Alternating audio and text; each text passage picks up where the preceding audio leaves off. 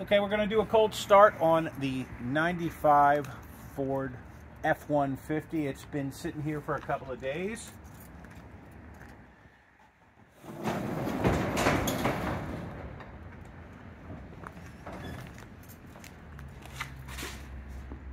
Ice cold.